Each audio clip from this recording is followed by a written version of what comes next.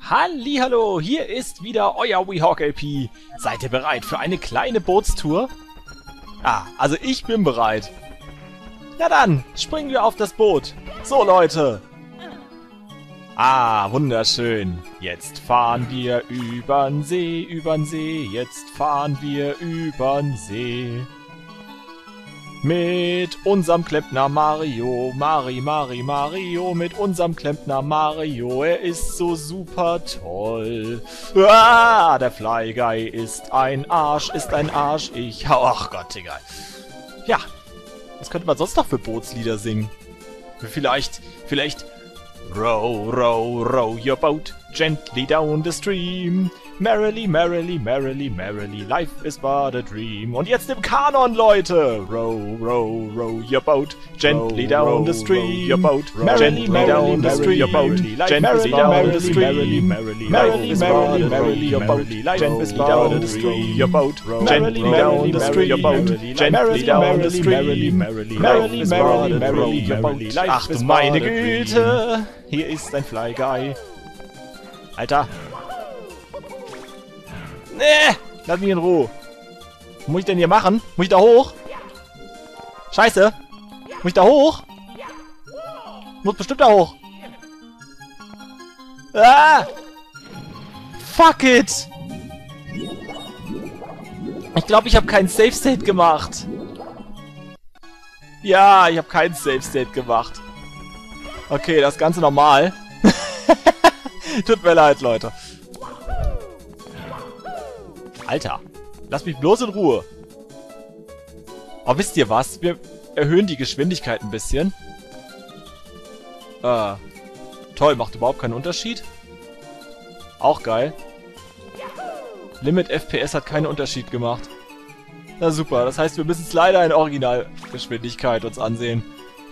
Naja, hat ja nicht so lange gedauert und ich singe jetzt auch keine blöden Lieder mehr. Jetzt ist alles gut. Jetzt nehmt erstmal alle euren... Nein. Gut, ich bin ja nicht ein gewisser anderer. So. Lassen wir das.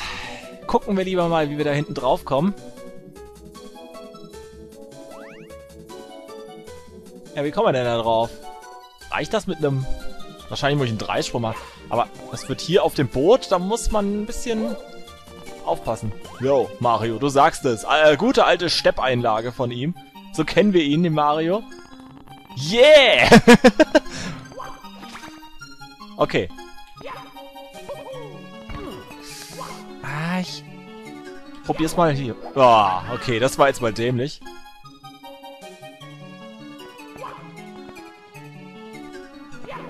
Hier, so, wunderbar. Und schon ist hier der Stern. Das war jetzt nicht die ganz schwierige Aufgabe, aber war mal ganz nett, so eine kleine Bootsfahrt. Ja, nicht die ganz schwierige Aufgabe und trotzdem habe ich dafür Save States gebraucht gerade. Aber auch nur aus Zeitgründen. Das waren reine Faulheit-Save-States, Leute. Ganz genau. So. Precision Swimming. Ach du meine Güte. Try this precise. Wir müssen wieder ordentlich precise sein. Oh Gott. Wo müssen wir precise sein? Was ist denn das eigentlich für ein Turm? ich bin jetzt hier, was weiß ich, wie, wie lange schon drin und mir ist dieser Turm noch nicht aufgefallen. Wow. Und 10 Münzen. Das ist gut. Das ist gut zu wissen. Weil, was wir noch nicht haben, ist der 100-Münzen-Stern. Obwohl wir die, die 8 roten Münzen ja schon gemacht haben. Die haben wir ja mehr oder weniger zufällig gefunden. Dann muss ich also auf jeden Fall nochmal in dieses Level rein. Aber, tja, machen wir erstmal Precise Swimming, oder? Äh, oder Precision Swimming. Ja, wir müssen wieder ordentlich precise sein. Das ist nur die Frage, wo. Eventuell wieder da unten, oder? Schwimmen wir mal wieder in unsere Geheimversteck. Ah, wunderschön. Mario geht wieder auf Tauchgang. Ich kann es mir zumindest da unten am besten vorstellen. Es muss nicht da unten sein. Aber vielleicht, ja, vielleicht ist meine weibliche Intuition ja korrekt. Und, ähm, ja, ganz recht. Egal. Ähm, meine weibliche Intuition hat mich gerade im Stich gelassen. Musste ich da hoch? Ja, musste ich. Ah, okay, da gab's... Ja, genau, der nächste Durchgang war da oben. Alles klar. Wobei ich ehrlich gesagt noch keine Ahnung habe, wo ich überhaupt hin muss. Was es damit auf sich hat, da wundere ich mich ja auch noch. Die Säulen und, und, die, und die, die Metallkappe, die werden ja hier nicht umsonst sein. Oder soll das einfach nur in Anlehnung an Super Mario 64 sein, wo es ja mal sowas gab? Nee, also... Ich komme auch definitiv nirgendwo durch, rein, zurück, wie auch immer damit, also... Ich sehe noch nicht so wirklich den Sinn.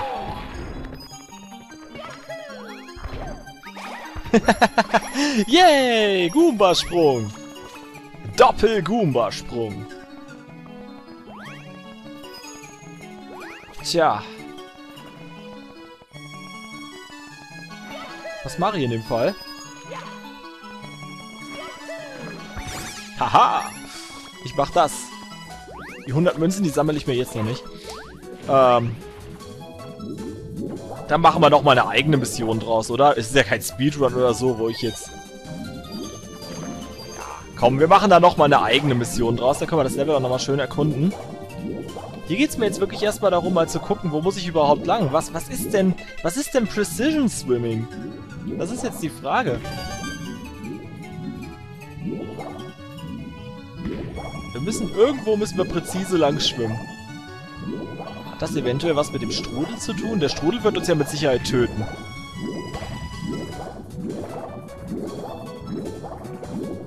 Da gehe ich also mal sowas von fest von aus.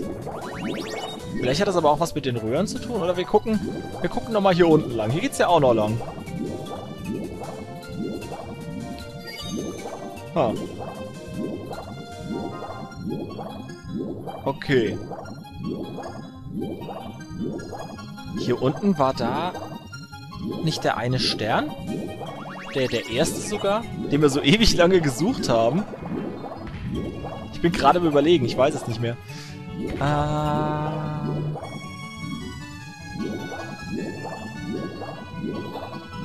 fast danach aus.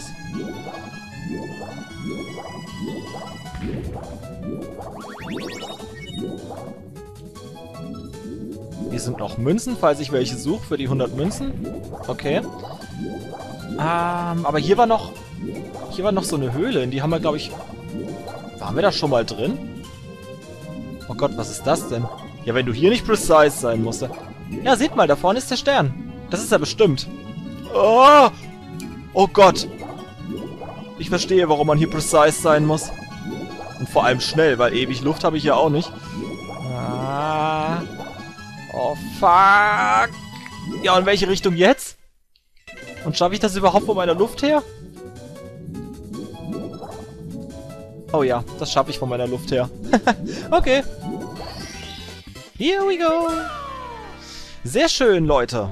Das hat doch wunderbar geklappt. Precision Swimming, das war's, tatsächlich. Wir waren so richtig precise und haben nun alle sechs Sterne, also die sechs, die sechs Hauptsterne, von den Corals. Und deswegen würde ich aber mal sagen, wir...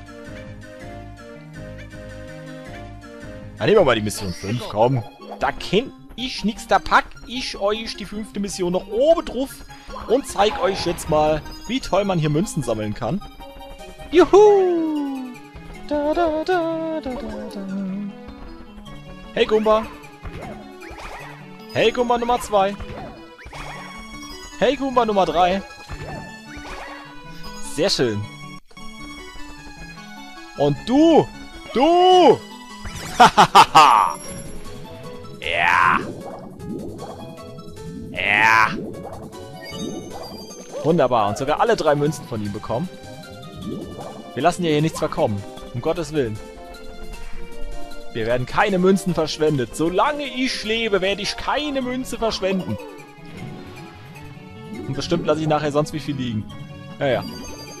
Aber das wird sich zeigen. Hey, Piranha.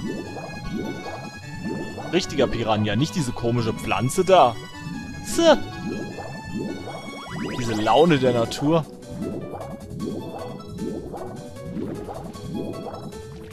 Ach ja, diese Laune der Natur, wir kennen sie. In Form von Piranha-Pflanzen. Oder auch mal, manchmal auch in Form von Luigi.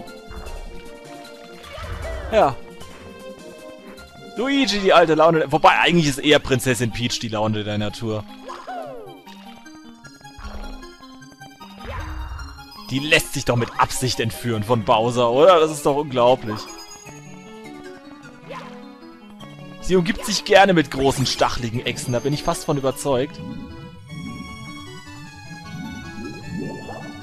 Ah. Ha! Ich habe ja gesagt, ich verschwende keine Münzen. Bin mal gespannt, wie lange das noch gut geht. Okay. Yeah! Kommt mal alle her! Tada! Yeah! Unbesiegbarer Mario wird euch alle vernichten! Yeah! Da tanzen die Münzen, Leute. So, geht das ordentlich ab hier. Hallo Gumba. Dich besiege ich auch ohne meine Unverwundbarkeit. Du bist kein Gegner für Mario. Und Mario wird dir nun mal zeigen, wo der Hammer hängt. Denn jetzt geht er in diesen Abschnitt, denn hier war ein blauer Münzschalter, aber zuvor, haha, kümmern wir uns nochmal um diese netten Gesellen hier. Es tut mir ja fast schon leid. Ich frage mich, wie viele von euch ich schon auf dem Gewissen habe. Over 9000! Naja. Aber je mehr Gumbas man tötet, desto einfacher wird es. Das sagt man zumindest. Aber Leute, es stimmt nicht. Es ist einfach nicht wahr. Okay.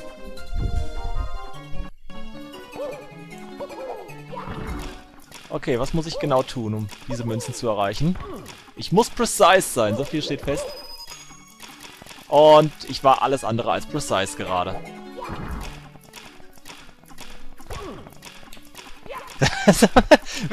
ja toll, du bewegst dich ja auch gerade gar nicht, wie ich das will, du Penner. Scheiß Gamepad, äh. Genau. Das ist aber auch doof mit der Kamera gerade. Ich hoffe, dass es auch ausreicht, wenn ich hier zwei hole. Wir haben ja noch acht rote Münzen auch vor uns. Da oben sind noch Münzen, also... Eventuell riskiere ich es jetzt einfach mal und belasse es dabei. So viel zu dem Thema. Ich verschwende keine Münzen, ich weiß, aber in dem Fall, die sind gar nicht mal so leicht zu erreichen. Und bevor ich jetzt zig Safe States lade, nur weil die Kameraperspektive mal nicht stimmt, das muss ja auch nicht sein. Yes, yes, yes, yes, yes. Nee, das sollte eigentlich jetzt schon locker ausreichen. Wir bekommen noch 16, wie gesagt, für die für die ähm, Rotmünzen, da wären wir bei 94 und dann habe ich ja noch diese Münzreihe da unten. Da waren, glaube ich, auch nochmal... Und hier sind auch nochmal welche, genau. Also, gut. Das schaffen wir. Das schaffen wir auch ohne die blauen. Das wäre jetzt nur für Highscorer interessant. Aber sehe ich so aus? Sehe ich so aus? Ich pack euch höchstens noch ein paar Münzen oben drauf, ein paar rote. Und dann war's das. Ich glaube ich, dass ich nicht mal alle sammle. Das ist mir jetzt zu mühselig. Seht ihr, ich verschwende keine Münzen. Nein, ich bin einfach nur zu faul, sie einzusammeln.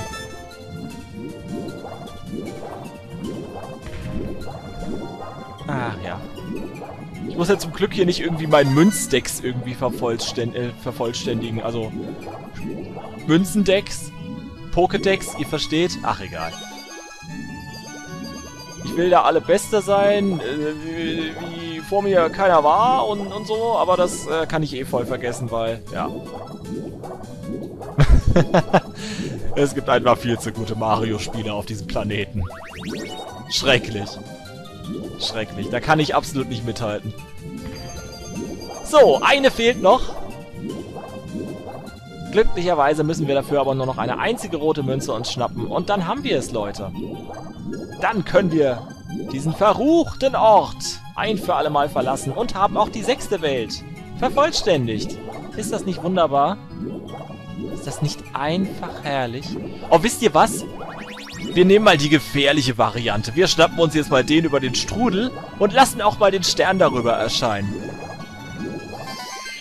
So. Haha. Was sind wir gefährlich, oder?